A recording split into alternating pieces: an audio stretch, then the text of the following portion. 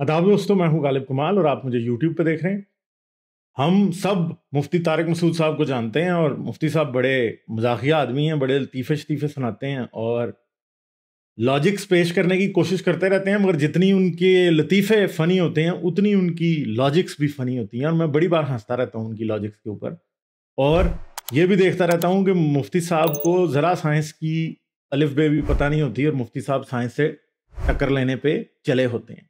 तो चलें एक इनकी वीडियो है, ज़रा उसको सुनते हैं, उसके बाद फिर हम इसके ऊपर तबसरा करेंगे। कि हु इज़ अल्लाह अल्लाह कौन है? नज़र क्यों नहीं आता? बहुत सारी चीज़ें नज़र नहीं आती, मगर हैं भाई वो। तो ये तो फजूल किस्म का एतराज़ है। बनी हुई चीज़ नज़र आ रही है तो कोई तो ये मोबाइल किसने बनाया? नज़र आ रहा है? है भाई? मोबाइल का कैमरा है। मोबाइल का? जब भी आजकल लम्स यूनिवर्सिटी में और इस तरह में यूनिवर्सिटी में प्रोफेसर बहुत इलाहाद फैला रहे हैं। बास प्रोफेसर, सारे नहीं।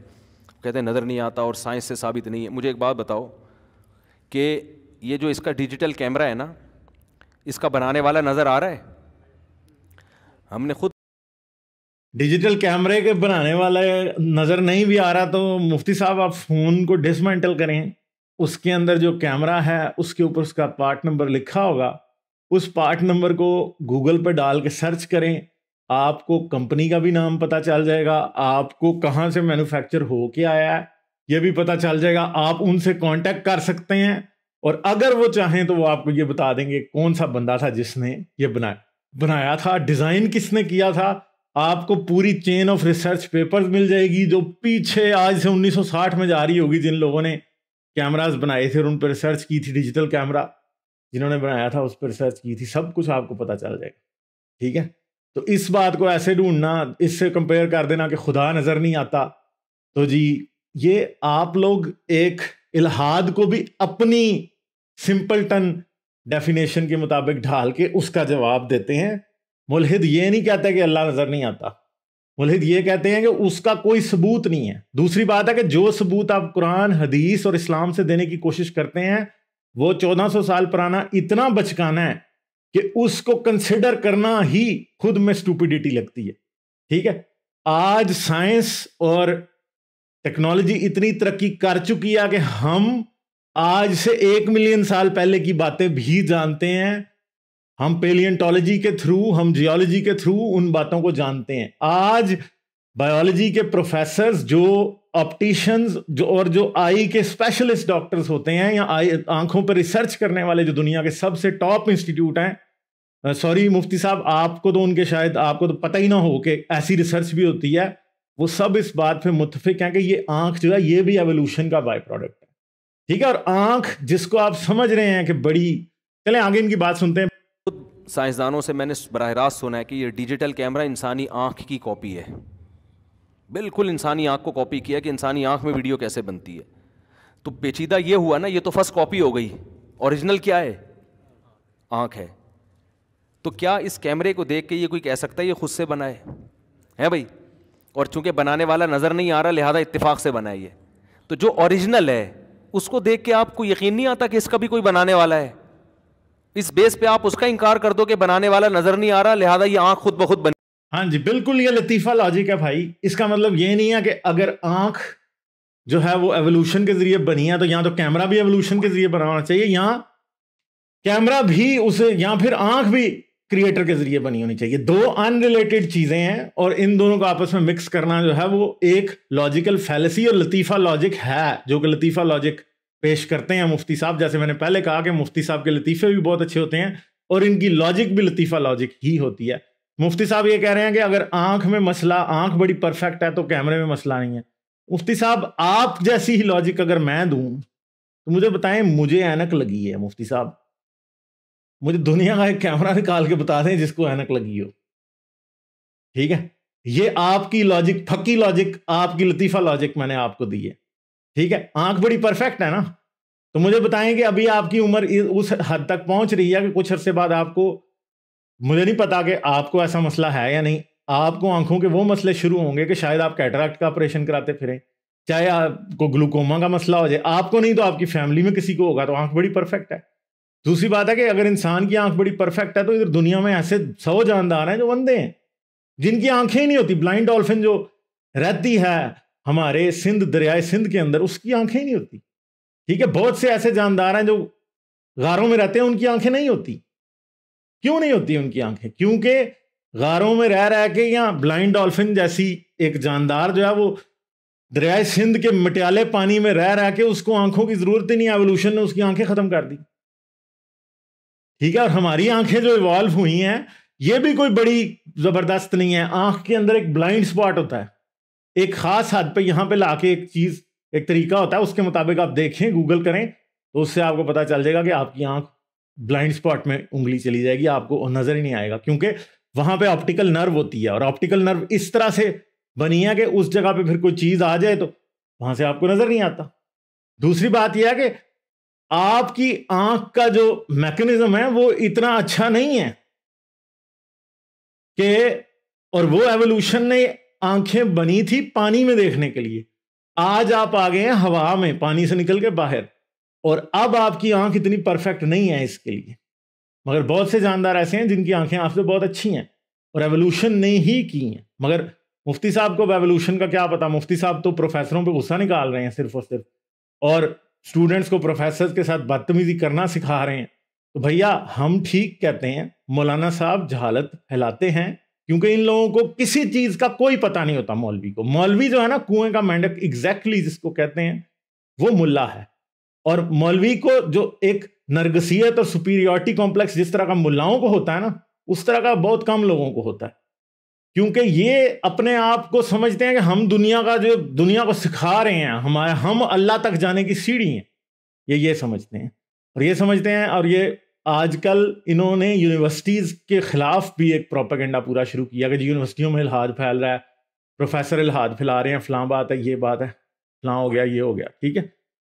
तो ये सारी चीज़ें भी इन्होंने शुरू की हुई हैं, मौलवियों ने, और मुफ्ती तारिक मसूद को तो लगता है कि शायद इनको ज़्यादा दुश्मनी जो फॉर्मल एजुकेशन है उससे है। बनी है। तो ये उल्लू बनाने के लिए ना, मसला हमारे साथ ये कि कोई भी इंग्लिश में जब कोई तहकीक पेश करता है ना वो यूनिवर्सिटी का प्रोफेसर की छाप लगी हो, कितनी बड़ी फेंक इससे बायोलॉजी फिजिक्स पढ़ाओ, पतली गली से। इनसे यूनिवर्सिटियों के प्रोफेसरों से इलाहाद के बारे में मुतासर होने की चंदा ज़रूरत नहीं, इनसे बोलो, आपका जो टॉपिक है ना, तमीज़ से बायोलॉजी फिजिक्स पढ़ाओ, पतली गली से निकलो। खुदा हमें पता है कि है कि नहीं है, इससे हम खुदा हमें पता है कि है कि नहीं है। मुफ्ती साहब, अगर आपसे खुदा के टॉपिक पे ज़रा चार बातें पूछ ली जाएँ तो मुझे अच्छे तरीके से पता है कि आप किसी एक का भी जवाब नहीं दे पाए। अगर हमसे हम आपसे फ़लसफ़े की बुनियाद पर साइंस की खुदा की बात करें तो वो आप नहीं दे पाएँगे। अगर हम साइंस की बुनियाद पर करें तो वो आप नहीं दे पाएँगे। अगर हम आपको ये कहें कि कुरान से ही साबित करके दिखा दो कि अल्लाह है तो वो भी आप नहीं कर पाएँगे। क्योंकि जब हम आपसे क्रॉस क्वेश्चनिंग करेंगे तो फिर पता चलेगा कि हाँ भाई, आपको इस मामले की सेहत का पता है या नहीं है। यहाँ आप सबूत के मतलब को समझते हैं कि नहीं। अब जो शुरू में आपने बात की, खुदा नज़र नहीं आता, इसलिए जी नहीं है। भाई, खुदा के सबूत नहीं है। और खुदा का सबूत क्योंकि आप दावा करते हैं कि खुदा है, और सबूत भी आपको देना होगा। और पूरी दुनिया के वो लोग, चाहे आप मुसलमान हो, चाहे हिंदू हो, चाहे क्रिश्चियन हो आज तक अपने किसी एक भी खुदा का एक भी सबूत नहीं दे पाए। कोई भी ऐसा सबूत नहीं है जिसको वाकई सबूत माना जा सके। जैसे कि अभी आपने कैमरे की बात की, कैमरे, कैमरा काम करता है, इस बात का सबूत क्या है? इस बात का सबूत यह है कि वो तस्वीर आपको खींच के दिखा देता है। तो आप ऐसा इस तरह का कोई भी सबूत खुदा के मामले में नहीं दे सकते, क्रिश्चियन नहीं दे सकते, कोई और नहीं दे सकता। ना आप लोगों ने कभी दिया है। क्यों ये मसले हैं? आप लोग ये समझते हैं कि कुरान या हदीस या आपका इस्लामी लॉजिक जो है वो खुदा को साबित कर देती है। साइंस की दुनिया में इन सब बातों की वैल्यू ज़ीरो है। इनको कोई कुछ नहीं मानता। साइंस की दुनिया में या मंतक की दुनिया में सबूत ऐसा होता है जो कि इंडिपेंडेंट हो। जिसको खुद किसी ईमान की बैसाखी की ज़रूरत ना हो। जिस तरह से आपका जो अल्लाह का कॉन्सेप्ट है, उसे इस्लामी ईमान की बैसाखी की ज़रूरत है। उसे कुरान की बैसाखी की ज़रूरत है और कुरान को अल्लाह की बैसाखी की ज़रूरत है। ये सर्कुलर लॉजिक इसको कहते हैं। और ये एक फैलसी होती है कि अल्लाह का गवाह कुरान कुरान का गवाह अल्लाह, कुरान अल्लाह का गवाह रसूल रसूल का गवाह कुरान कुरान का गवाह अल्लाह। ये तीनों एक दूसरे के गवाह हैं। इन तीनों में से कोई भी इंडिपेंडेंटली अपने आप को साबित नहीं कर सकता। पहले इन तीनों में से एक चीज़ को इंडिपेंडेंटली अपने आप को साबित करना पड़ेगा, तब अगली बात होगी। अगर हम कुरान की बात करें तो कुरान पे ईमान आप इसलिए रखते हैं कि कुरान आपको हज़रत मोहम्मद ने दिया। ठीक है? हज़रत मोहम्मद को आप नबी मानते हैं कि अल्लाह ने उनसे बातें की। पहली बात यह है कि अल्लाह साबित नहीं है। फिर आप हज़रत मोहम्मद को नबी मान रहे हैं और फिर उनसे कुरान ले रहे हैं। अगर अल्लाह ही साबित नहीं है तो हज़रत मोहम्मद की नबूत तो सीधी सीधी झूठी साबित हो जाती है और यकीनन इस बात का कोई सबूत नहीं है कि हज़रत मोहम्मद को नबी थे। क्योंकि आज हम बहुत से ऐसे लोगों को जानते हैं जिनके बारे में हम ये कहते हैं कि वो नबी होने का दावा कर रहे हैं, उनका दिमाग खराब हो सकता है वो मकर कर रहे हैं। आपने खुद अहमद ईसा पे वीडियोस बनाई हुई हैं। मुफ्ती साहब और आपने उसे झूठा नबी कहा हुआ है। अगर आप वही लॉजिक हज़रत मोहम्मद पे अप्लाई करें तो लग सकती है। अहमद ईसा के बारे में तो हम ये कह सकते हैं कि आज इस मॉडर्न दौर में रहते हुए एक जहालत पे मबनी दावा वो कर रहा है, जिसका उसके पास कोई सबूत नहीं है और उसकी सिर्फ़ जिद है। मोजा अहमद ईसा के पास भी कोई नहीं है। इधर मौजूद आता नबी उसके पास भी कोई नहीं है। और मज़े की बात यह कि हज़रत मोहम्मद के पास भी कोई नहीं था। और अगर आप कहेंगे हज़रत ईसा या मूसा के पास कोई मोजे थे तो वो भी गैर साबित शुदा हैं। वो भी कोई बंदा साबित नहीं कर सकता कि मोजे उन्होंने भी किए थे। तो नबी ऐसे ही थे सारे अहमद ईसा जैसे, मदूद जैसे अभी ये खातून थी हिना, जिसने नबूत का दावा कर दिया। ऐसे ही थे नबी सारे। हमें आप ये बात साबित करके नहीं बता सकते कि हज़रत मोहम्मद का वाकई ही कोई प्रॉब्लम नहीं था जिसकी वजह से वो खुद को नबी समझते थे, या कोई और इशू नहीं था जिसकी वजह से वो नबी समझते थे। या फिर आप मुझे कैसे साबित करेंगे कि हज़रत मोहम्मद मकर नहीं कर रहे थे? ठीक है, पहली बात तो यह है। दूसरी बात यह कि अल्लाह को साबित करने के लिए तो फिर और बहुत सी चीज़ें चाहिए। अगर आप ये समझते हैं कि आँख अल्लाह के होने का सबूत है तो भाई, आज तो आँखों की एवोल्यूशन पे बहुत ज़्यादा नॉलेज एक्यूमुलेट किया जा चुका है और जो आँखों की फ़ील्ड के एक्सपर्ट्स हैं बायोलॉजिस्ट वो तो हंड्रेड परसेंट ये मानते हैं कि आँख इवॉल्व हुई है। आप जैसे मुल्ला, जिन्होंने जो, अगर मैं आपको कहूँ कि आँख के इंटरनल स्ट्रक्चर की एक डायग्राम बना के दिखा दें तो आप नहीं बना सकते। आपको तो ये नहीं पता ना, आप आप सिर्फ़ ये समझ रहे हैं कि कैमरा आँख की कॉपी है और आँख कैमरे की कॉपी है। भाई, ये दोनों एक प्रिंसिपल पे काम ज़रूर करते हैं, मगर इंटरेंटली दोनों बहुत डिफरेंट चीज़ें हैं। अगर आँख इवॉल्व हुई है और कैमरा बनाया गया है तो इसका मतलब ये नहीं है कि दोनों को यहाँ तो इवॉल्व होना चाहिए या दोनों को बनाया जाना चाहिए। ऐसा नहीं है, इस तरह नहीं होता। ठीक है, दूसरी बात यह कि आपने ये कहा कि खुदा भी नज़र नहीं आता और आँख कैमरे का बनाने वाला भी आईफोन दिखा के आपने कहा कि कैमरे का बनाने वाला भी दिखाई नहीं देता। मुफ्ती साहब, ये भी किसी बात का कोई सबूत नहीं है। बात यह है कि कैमरे का बनाने वाला हम इस दुनिया में चंद, थोड़ी सी कीबोर्ड रिसर्च करने से भी ढूंढ सकते हैं। पार्ट नंबर डालें, देखें आप।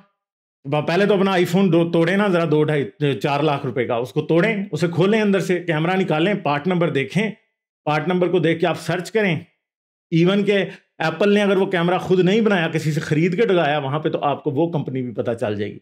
और फिर आप उस कंपनी को ईमेल करें, बताएँ जी ये कैमरा किसने डिज़ाइन किया? तो वो आपको बता देंगे, अगर वो चाहते होंगे तो।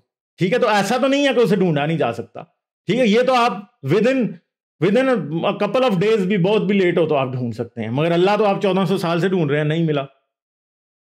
ठीक है, और जितने आपके दावे हैं, वो सब दावे ही दावे हैं। आप खुदा का सबूत नहीं दे सकते। आपने अल्लाह का आज तक कोई सबूत दिया नहीं है। ठीक है आप जो भी बातें करते हैं, वो लतीफ़ा लॉजिक है एग्जैक्टली हंड्रेड परसेंट वो एक लतीफ़ा लॉजिक है, और हम आपकी लतीफ़ा लॉजिक पे यकीनन उससे ज़्यादा हँसते हैं जितना हम आपके लतीफ़ों पे हँसते हैं।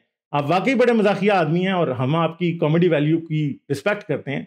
बिल्कुल ज़बरदस्त, और एज ए ह्यूमन आप हमारे भाई हैं, मगर आपकी logic I am sorry to से लतीफ़ा लॉजिक है, और शायद रहेगी, जब तक आप कुछ सीखने की कोशिश नहीं करेंगे। तो ये बात है, मुफ्ती साहब, कोई बात आपको बुरी लगी हो तो आई एम सॉरी और दोस्तों, अगर आपको वीडियो पसंद आई है तो एक थम्स अप दे के जाना। अगर नहीं पसंद आई, मुफ्ती तारक मसीद के आप फ़ैन हैं और आप उनकी लॉजिक से एग्री करते हैं तो ज़रूर मुझे बताएँ कमेंट्स के अंदर कि आपको मेरी बात क्या बुरी लगी। इसके अलावा आप इस चैनल को सब्सक्राइब कर लें बेल आइकॉन दबा के ऑल नोटिफिकेशन ऑन कर लें। आप इस चैनल को पेट्रियन पर सपोर्ट कर सकते हैं। पेट्रियन का लिंक इस वीडियो की एंड स्क्रीन और डिस्क्रिप्शन दोनों में मौजूद है। अपना बहुत सा ख्याल रखिएगा, मैं आपसे मिलूँगा किसी अगली वीडियो में। आदाब। लाइक शेयर और सब्सक्राइब करना मत भूलें। इसके साथ साथ आप मेरे चैनल को पेट्रियन पर सपोर्ट कर सकते हैं। पेट्रियन का लिंक वीडियो के डिस्क्रिप्शन में है।